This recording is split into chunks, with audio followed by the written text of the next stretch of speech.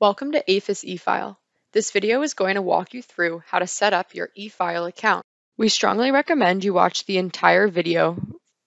Each individual who logs into eFile will need their own USDA e-authentication username and password. To get e-authenticated, go to the website displayed on the screen and create an account. E-authentication usernames and passwords are used to do online business with USDA and are used to log into many USDA online services, including APHIS eFile. The website also has a list of frequently asked questions and guides regarding USDA e-authentication.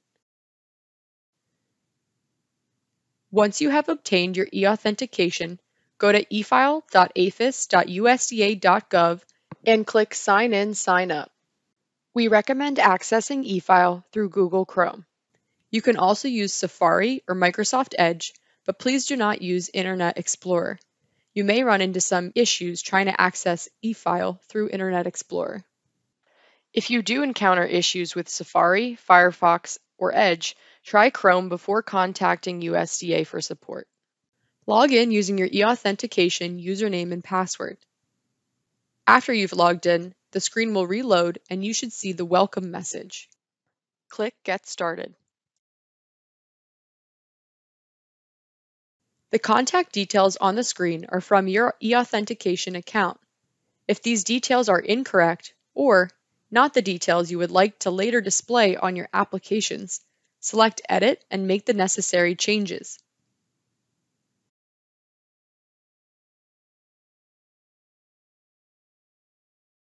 When you're done editing, select Confirm Contact Details to proceed. Next, you'll select your eFile account type. Here, you will have several options to choose from. The card on the far left reads, I work alone and do not share applications, registrations, permits, or licenses with other eFile users. Select this option if you would like an individual account in the system. This means that you do not intend to share or collaborate on eFile data with anyone else in the system.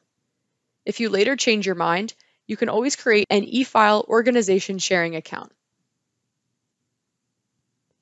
The second card reads, I work with others, sharing and managing applications, registrations, permits, or licenses with other APHIS eFile users in an organization.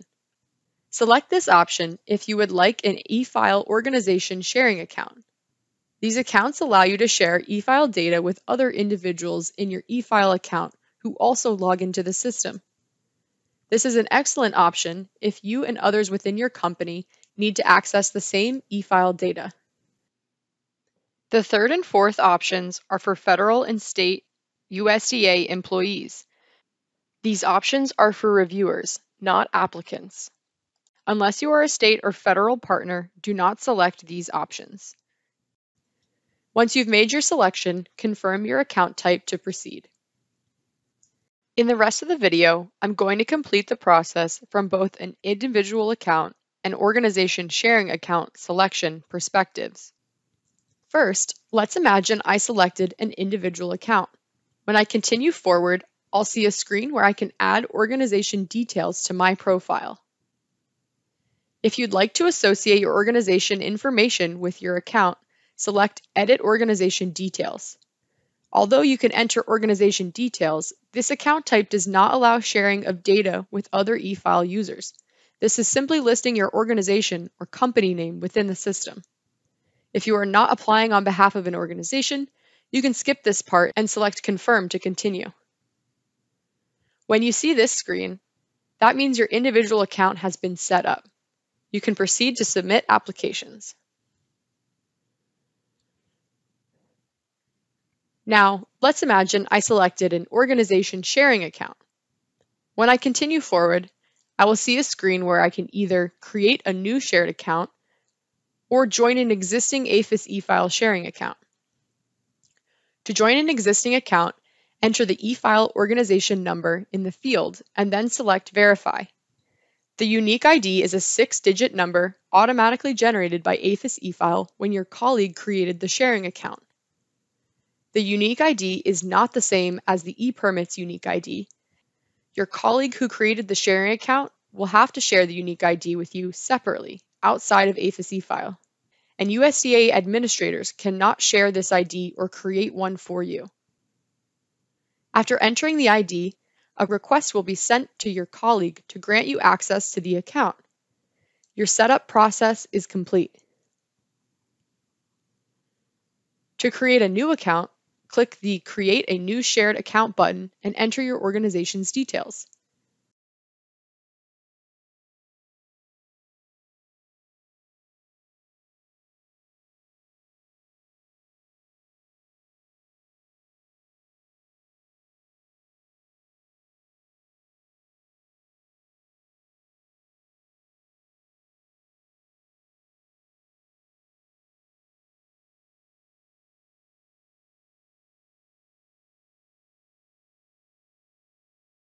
When you're done, confirm to continue.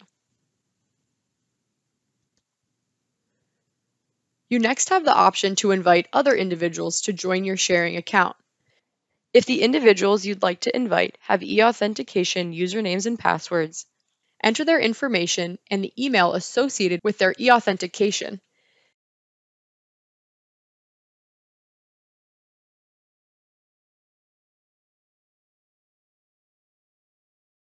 and then select Add Team Member. Repeat this process to add multiple team members.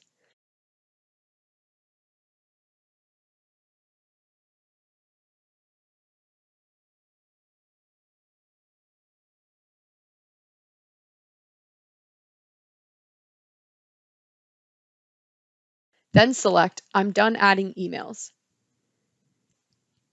These individuals will receive an email with information on how they can join your account.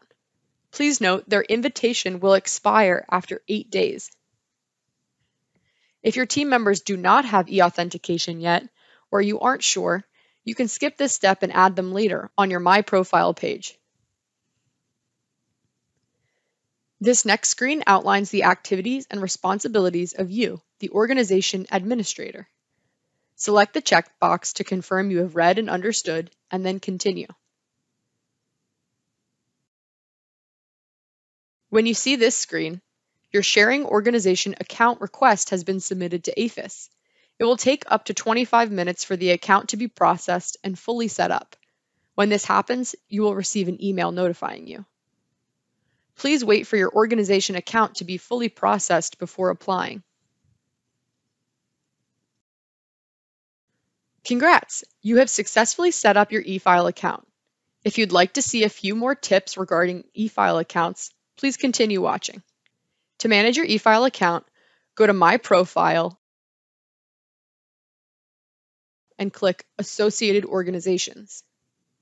If you originally created an individual account and would like to create an organization sharing account, or you would simply like to create another organization sharing account, you can do so by selecting Create Organization. If you already have a sharing account, here you'll be able to invite new members, remove members, create subdivisions, promote others to organization administrators, and more.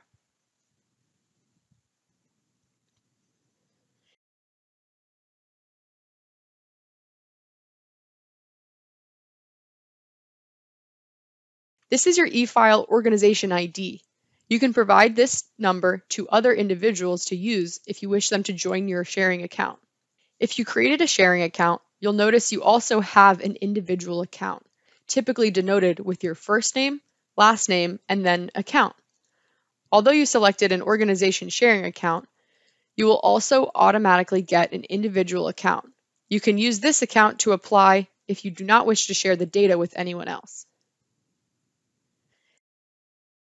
When you start a new application, you'll be prompted to select the eFile account you'd like to share the application, and if applicable, the resulting permit with.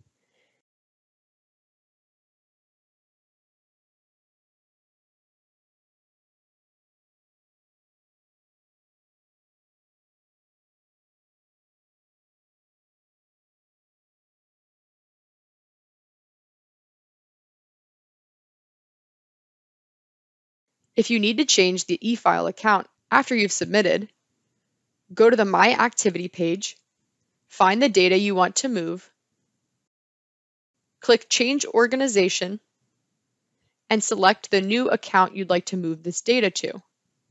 Everyone in the account will be able to view and edit this data. This action only moves this one piece of data, but it's important that you move all other related data. For example, if you moved the permit to a new account, you also need to move the related application, and so on. If you do not move all related data, you may run into issues amending or renewing in the future. More helpful resources can be found on our APHIS eFile training website displayed below and linked in the video description. Thank you for watching.